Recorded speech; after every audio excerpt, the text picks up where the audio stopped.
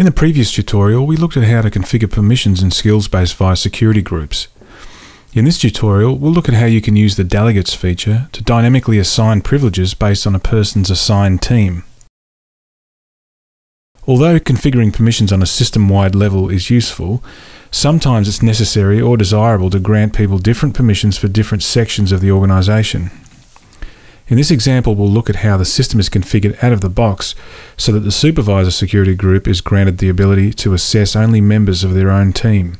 By editing the supervisor security group, I can see that the people assess privilege is granted with delegated scope. This means that permission will only apply to teams that the person is delegated to. By default, a person is delegated to a team simply by making them a member of the team. There are other options that are configurable via the team's configuration page, however, we'll be using this default setting for this tutorial. With the mechanisms of security groups and delegates in place, we can simply move people from team to team, and any privileges granted with delegated scope will only apply to the team that they're currently in. So, a supervisor in the accounting team will always only be able to conduct assessments of people in the accounting team unless we move them to a different team. It's important to note that permissions apply downstream through a team's hierarchy. So, if a person has certain permissions granted for a parent team, they'll automatically apply to all sub-teams as well.